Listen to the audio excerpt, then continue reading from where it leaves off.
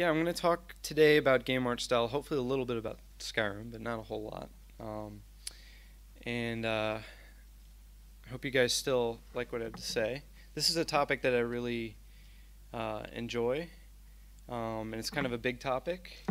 There's no way to really encompass it in one talk. So this is really my my take on it. This is the way I think about art style in games. Um, before we get into that, a little bit about me. I work at Bethesda Game Studios. And we released Skyrim last year. Um, I did a, some concept art and some character art on that. Before that, I worked at EA's Mythic Studio on Warhammer Online, uh, concept art, character art, some UI stuff. And a long time ago, I got my start doing uh, plug-in player models for uh, Quake 3 Arena. Um, it's a little rough to look at, but uh, so I, as I understand, there's a lot of students here today, uh, and uh, sometimes people are interested in sort of passing the industry. That's why I mention this kind of stuff. And uh, for me, there is there's one common thread for all of this was which is the online forum Polycount, which is where I learned most of what uh, I know about game art. So if you're interested in being a game artist I highly recommend it. Go there, post your work, listen to what people have to say, and you'll learn a lot. So let's talk about game art style. It's kind of a, a fiddly term. I don't like the way it sounds coming out, but you know, I was trying to think about how to describe what I want to talk about. I thought maybe aesthetics is the right word. Uh, but that really encompasses more than just visual art. You can say that game mechanics and audio and music are part of the aesthetic of a game. And I really want to talk about the visual art, plus this is how gamers talk about it these days, is this Penny Arcade comic shows. It was based off of this Namco um, survey when they were trying to figure out what to do with Pac-Man next. To start off a little history, um, when I was a kid and playing video games in the 80s with my friends, uh, we didn't say art style. When we talked about games, we said graphics. What are the graphics like? And, you know, ads would talk about graphics. This is the famous video game Donkey Kong um, for full graphic screens. The SNES had power graphics. Um, but we hear people talk about art style more these days, and I think that that shows that uh, art style matters to gamers. Um, it's sometimes hard to to understand why style matters, and I'll certainly try and give you my opinion. Um, to me, it's it's kind of like a great song. You know, there's a lot of ways to make sound, um, but a bunch of sound coming together doesn't make a great song. It has to to blend and you know it has to work together. And I thought about showing a clip of a of a, a symphony playing music together. And then I remembered this clip from Hustle and Flow.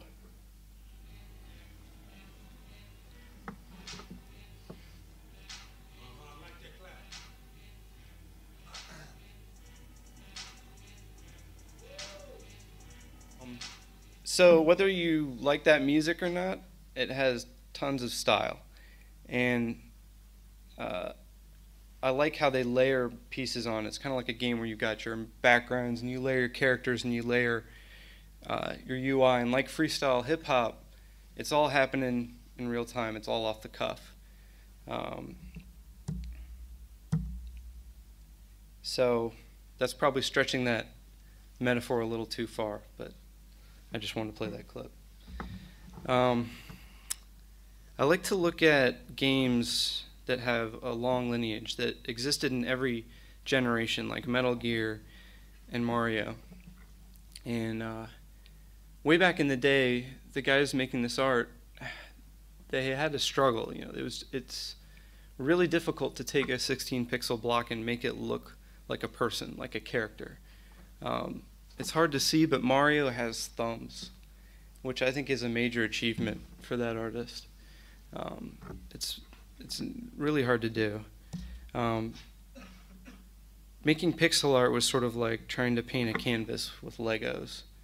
And so a lot of the games looked pretty similar Um, they were the artists were sort of technically constrained on those platforms, uh, and as more console generations came about, more opportunities opened up for the artists. Um, but you can see this art style really starting to come forward in these titles, and their gameplay, of course, was differentiating as well, um, especially with the jump to 3D. And they ended up in very different places, and it, I think this shows sort of the expansion that uh, came about as far as the territory that's available to game artists. Um, and even though they jumped to 3D, there still are a lot of 2D Mario games, which look different from the original 2D Mario games. So, I think this shows how much style is opened up with the modern hardware and uh, game engines, and there's this huge style landscape. And my favorite way to, to map this style landscape comes from Scott McCloud's book, Understanding Comics. Um, this is his style triangle, he calls it a couple other things. And he's on here, he's plotting different comics according to how they sort of lay out based on these three corners. He's got uh, reality, abstraction, he's calling that the picture plane on this image, and meaning. And for comics, meaning was blending images and text. As a quick example, so reality would be like a realistic picture of a face, a photo of a face. Uh, abstraction from our Penny Arcade comic, maybe Cubist Impressionism. And meaning two dots in a line. And Scott makes the point in his book that you can draw two dots in a line and show it to anybody from any culture, anybody anywhere in the world, and they'll say that's a face. Uh, so that's sort of the purest meaning drawing you can come up with there.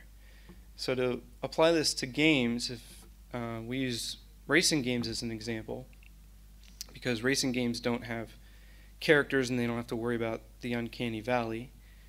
Down here you would have something like Forza, which is sort of a trying to give you a real racing experience. Up top you might have something like Rez, and down here something like Line Rider, which is purely about uh, the complex mechanics you can create by drawing these simple lines. So any sort of style, I think, would get in the way of, of the fun of Line Rider. So revisiting our history for a second. Here's what I showed you from Mario and Metal Gear before. And if you kind of flip it, I think it sort of maps to the triangle like this. You might start the NES stuff a little higher on that edge, but again, it shows how the territory sort of opened up over time. And it's good Mario with the way it did because I think it would have been pretty bad if it had gone too far down into realism corner.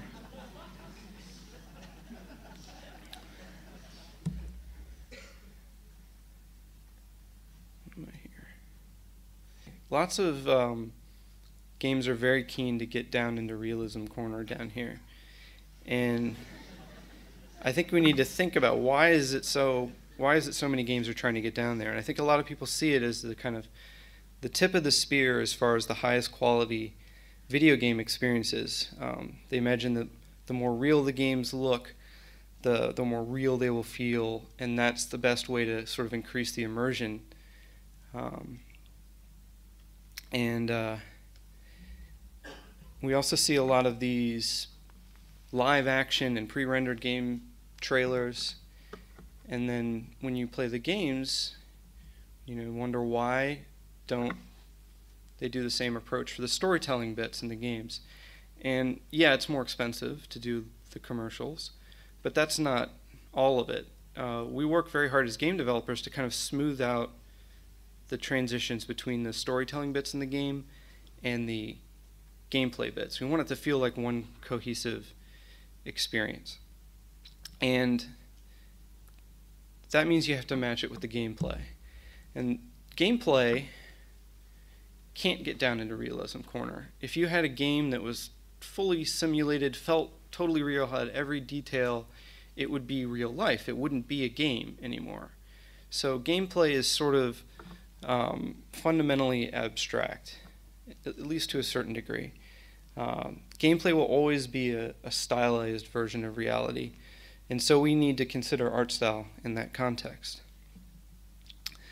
Uh, as game artists, we talk about this all the time. We see movies and we look at things like Gollum and the Na'vi and we say, you know, maybe in the next generation with the new Unreal Engine, games can look that good. Um, they can be that realistic. Well, first of all, these characters aren't realistic humans, um, but that point is that point holds, and I and I and I agree to a certain point. We will have little movies in our games that look this good. Um, and there's lots of game makers that are carrying the, that torch and making great games doing it, like uh, Heavy Rain on the top and LA Noire down here on the bottom. Um, but the challenge that these games have is when the player takes over and takes the controller, it it's challenging for them to to blend those two things together. If you want to have any interactivity in your games at all, it's going to fight with your carefully authored animation or storytelling. And these seams take a lot of work to blend. And this is, uh, well, narrative and gameplay are just sort of strange bedfellows. And this is why style is so important. Style allows us as artists to craft an abstract reality an internally meaningful reality. That if we deliver it with a consistent, steady hand, uh, it creates this feeling of, of believability, the suspension of disbelief, immersion, um, and it's kind of a state of mind where it all feels real. As game developers, we create this impression by aligning the gameplay and the art style. They've got to be doing the same thing going to the same place, which brings us back to the triangle. You can plot your gameplay on the triangle and use that as a guidepost to help think about what's the art style for your game. Is your game deep simulation like Skyrim? Is it crisp fun like Triple Town? Your art style must align to that gameplay. So you have to uh, make specific choices about how to portray your game worlds. Um, and to get started with that, a great place to start is inspiration, reference points. And since we've learned that uh, video games have a relatively short history of art and pretty technically constrained at that, it's a great idea to broaden your, your search and look at other media. Um, so I'm not going to tell you how to be inspired. It's up to each individual artist to decide what they think is beautiful. Like as artists, we all sort of do that naturally anyway. Um, what I want to do instead is give you some bad news about stuff you're not allowed to do in video games. Um, but hopefully, given that you can uh, find interesting new approaches that are a great fit for games. So let's start with uh, film and photography. Uh, when we look at film as a source of inspiration, there's a lot that doesn't really work. Like the guy in the chair, the director, that's the player. The actors in a video game are either going to be other players or they're going to be controlled by AI, and they're never going to approach a Hollywood level of believability performance in video games dynamically. Um, the little movies will, but the gameplay bits, uh, it's not really going to be the same kind of thing. Um, but if we look at the the cinematography in particular, there's a ton of inspiration to be found, a ton of reference. Um, there's a the director of photography has a, a, big impact on the visual style of a film. Uh, as an example, in the last generation of consoles, there were a lot of games that looked at Saving Private Ryan and wanted to duplicate this bleach bypass effect. Uh, Gears of War to be one. Um, but there are challenges as well. Uh, for a cinematographer, they can skip the bleach and they get that nice nuanced look. And for video games, programmers have to take a lot of time to kind of replicate this effect that we sort of get for free with film. And that goes for a lot of other things like atmospheric perspective, bloom, ambient occlusion, bounce lighting, dynamic vegetation, and on and on. And generally speaking, the whole beautiful complexity of, of life that can be captured by a camera, we have to try and recreate by hand in video games, including set design and costume design, where they have real world materials to, to pull that stuff together. It's not always so easy for us. So keep that in, in mind the next time you hear a game artist say they want their game to look like this movie, say Kingdom of Heaven. Uh, unless they have infinite programmers and infinite time, they're going to have to make choices, hard choices about what they're pulling. And by making those choices, they're defining a style. Uh, if we look at 3D animation, it, like video games, is created from scratch. The, the people making these movies have to build everything up. Uh, a lot of the, the beauty that we get in, in some of these films comes from effects that are expensive to render and can take hours to render a frame. And of course, in video games, we have to render at least 30 frames a second. Um, subsurface scattering, fluid simulation, cloth, things like that. Um, but we can still look at this stuff, and occasionally, like on Jack Jack's ear, subsurface scattering, we can do a cheaper version of that in games and maybe hide it with a noisy texture and get a pretty good result. Um, so it's it's good to look at that stuff, but it's it's not a slam dunk. Illustration is perhaps the the richest vein of inspiration. There's there's so much of it, um, and it's there's so much stylistic variety as well. Um, but a lot of what can make a great illustration great is dependent on composition. And of course, in a video game, composition is largely under the control of the player holding the camera. And there are compositional tricks that illustrators use, like softening edges, um, putting atmospheric perspective wherever they need to, focusing on shapes and things like that um, to pull off an effect. This is a, a fantastic painting by Tom Scholes that you might use to set the tone for a game, but you wouldn't necessarily use it to design the world by. Shadows can hide things. Um, but you can, it's still a great source of inspiration. As a side note, if you've got a 2D game, the backgrounds are a great opportunity to use illustration um, to you know wonderful effect because it's essentially not playable space. You can paint it and come up with uh, some really striking art styles.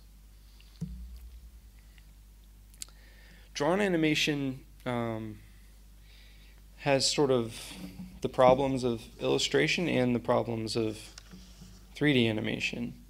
Um, and a lot of the beauty that you can get in drawn animation is sort of coming from the animator's hand.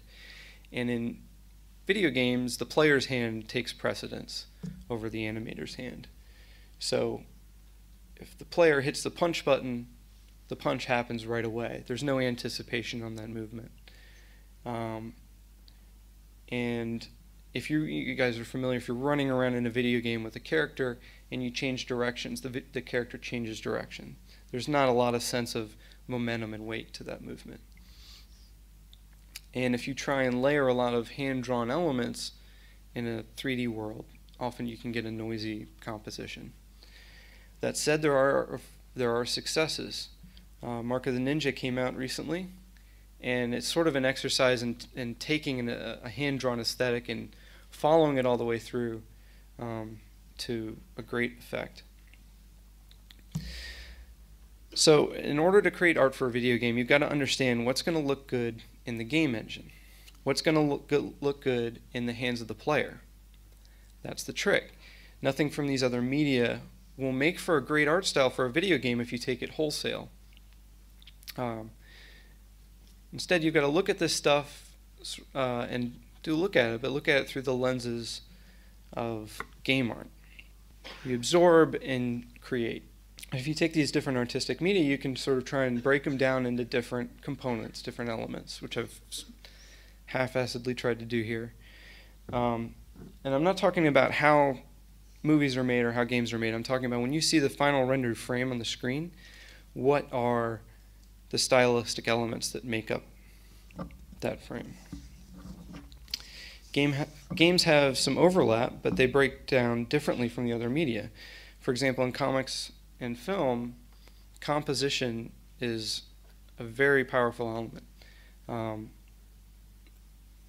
a good example is, is storyboarding is, is such a fantastic tool for developing a film because the composition can do so much to tell the story. And of course, in video games, often the player is in enough control that we can't consider it a dominant stylistic element. So let's look at what is important to game art. When we think about modeling, what we're really sort of breaking it down into is a silhouette and shadow. Um, those create shapes. And we spend a lot of time thinking about silhouette with characters because in a video game, often you approach a character, it's tiny on the screen, it's 20 pixels high, and you need to be able to read that character and tell something about the story from that character. In texturing, what we're really talking about is color and detail. In the NES days, they had hardware enforced palette limitations. They couldn't go above a certain number of colors. And in, in, my opinion, that's a lot of the retro appeal of those games is that they had to make strong color palette choices. And uh, to me, this is an example that you can take almost all of the, the pixel art patterning out of these characters and present them almost just as color palettes, and you can still have recognizable characters. Um, another example is the demakes. This has uh, been going around for a few years. TIGSource had a competition a couple years ago. This is when you take a modern game and reimagine it as it might have been uh, in, in an early generation. And we people started making these demakes. Um, I thought it was interesting that a lot of the ones that made for the strongest demakes were the ones with the most well-defined color palettes. So Team Fortress 2 has an extremely well-defined color palette and it makes for an awesome demake. Um, detail. So I worked on MMOs for a long time, and EverQuest 2 and, and World of Warcraft came out about the same time. And uh, when you're working on an MMO, there's tons of stuff that you can't do. There's so much going on that you're very limited on what you can put on the screen. And the developers on EverQuest 2 kind of approach that problem by saying, we'll take things like the characters and we'll divide their outfits up into different materials and then we'll tile a texture across it. So that way we can get tons of detail on the character, which was a departure from how characters are normally painted, more like a single canvas. And they got lots of detail. Um, and World of Warcraft kind of took an opposite approach, which was embracing the fact that they were going to have blurry textures um, and working with their, the Blizzard studio art style to come up with something that was consistent. And to me, when uh, WoW was being previewed and there were screenshots, and I thought, you know, why can't they get crisper textures? But then when I played the game, the fact that that art direction was delivered consistently meant that you could accept it. It created its own internal believability, um, and it really worked for them. So because we can't use composition so much to direct the player's eye, detail becomes a surrogate for game artists. By pulling detail out of what we don't want the player to care about, we can help guide them to look at what is important in the game. Um, if we bring color and detail together, this is it's Kazuo Oga. He's a background painter for the Studio Ghibli films. So his entire job is to paint the stuff that's not the focus, right? Um, to me, he's a master of sort of selective detail, suggesting detail. Here's a rock from Princess Mononoke. It's brush strokes, but you get that it's a rock. And that's all that matters because you really want to look past that rock to the characters. Here's a rock from Crysis.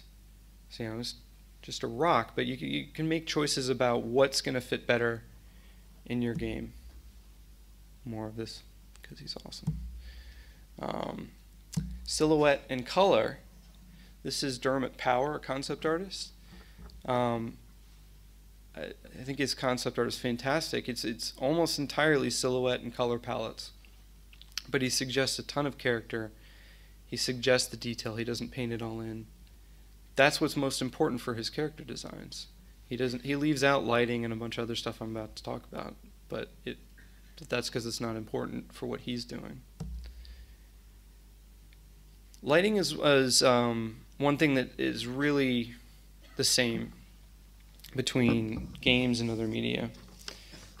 So, by creating areas of dark and light, you can draw attention, create contrast, and draw the eye where you're where you want to. I read this book recently, Painting with Light by John Alton. It's an old book, predates video games, but everything in it still is applicable to building video games. Um, shading is how surfaces react to light. Um, and I thought of one example of how uh, we could show the impact of this, which is this is Battlefield 1942, and this is Battlefield 3. Battlefield 3 is an amazing looking game. Um, but if you look at the characters, the shapes aren't that different. There's a little bit more detail in Battlefield 3. The color palette's pretty much the same. What you're getting a lot of is great shaders, at, um, atmosphere, ambient occlusion, Fresnel on the cloth, all kinds of effects come together to make it feel more real. And that's a lot of technical stuff, but when you're building a game, the artists are working with the programmers, making the decisions about how are these surfaces going to react to light. So the fundamental challenge of animation in games is that the player wants to press that button and have an action happen. Um, and we already talked about the uncanny valley and, and the how the storytelling bits can drive your animation style. Um, but one thing that we can do in games, and we get better at this every year, is blending more procedural and simulation effects to to lend a realness to the to the animation. Um, uh, this is Sumotori Dreams, which is like a it's fully biometric simulation on the characters. And it's hilarious. Like, up I go. Just, I'm not very steady on my feet. Get out of there. Hang on. Ah. Ah. Okay, next next round. So it's two one to you. Okay. I think. So we bow, bow, Bow, bow, and and then then move forward. and then punch. Ah, ah, take that! Yay! I won. That was me. That was my round. Okay, next round. Uh, so it's two two one to you. What is it? Best of how many? How many can we possibly Okay. do of these? Oh. and a flying air punch. So, you might say that this this game has no art style, that it's all just programmer art, um, and that the programmer art hurts it. But I think the animation is so authentic feeling that because of all that technical work that went into it, that it's actually very stylish and hilarious. Um, exposure uh, is sort of a relatively new development in game art um, that we started treating our 3D cameras more like real cameras and thinking about exposure. Uh, so earlier I said that pixel art was like painting a canvas with Legos. Uh, making a 3D game these days is sort of like building a little 3D diorama world and then photographing it, which is this artist's name is Kim Keever. This is what she does. She makes like fish tanks and fills them with dioramas and squirts liquids in there to make them look like clou- clouds. I think it's a lot like building a video game, personally. Um, so just like real cameras, you can have bad cameras and good cameras, and they make a difference. And I won't go into the technical side of that, but that's kind of the first step in thinking about the effect that exposure is having on your art style. And then on top of that, once you've got a good exposure, you've got a color grade. And that's more of an emotional component. Um, and all of those exposure elements, to me, are about simulating the eye. So when you're outside and, you feel the sun on your face, it's hot. If you look at the sun, it physically hurts your eye. Um, and bloom and things like this, to me, are about giving you a visual cue that this is bright, to kind of give you that same feeling and sensation. Another example uh, moonlight looks blue. It's not actually blue. The moon is gray, the sun is yellow. Moonlight is not blue, but because of the way our eyes see in low light, it appears blue. So we color grade night shots to be blue. So